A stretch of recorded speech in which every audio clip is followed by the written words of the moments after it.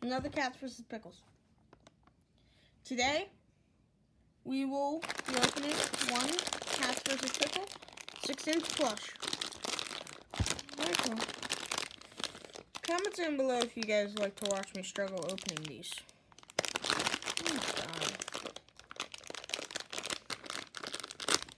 Oh, Egg.